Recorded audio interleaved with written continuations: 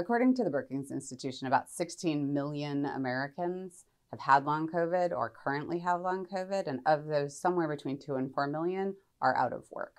That's not a small number when you're talking about hits to the workforce. We applied uh, researcher Catherine Bach's methodology to California. Here's what we found. We have roughly a quarter of a million people out of work in California with long COVID. We did the math on that, and that comes out to about $17 billion annually in lost wages alone.